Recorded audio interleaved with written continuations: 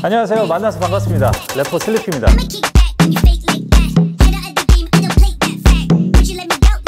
무신사 아울렛 촬영을 하러 왔는데요. 제가 드디어 무신사 모델이 됐습니다. 오늘 촬영한 옷들이 요즘에 진짜 잘 입고 다니는 스타일이에요. 제가 예전에는 좀 화려한 거 좋아했었는데 요즘에는 모던 룩을 좋아하기 때문에 요즘 자주 입는 스타일이라서 더 마음에 들었어요.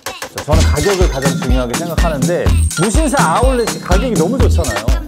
그래서 자주 이용하고 있습니다. 뭐 지금 오늘도 입고 왔는데 좀 보여드릴까 일어나서?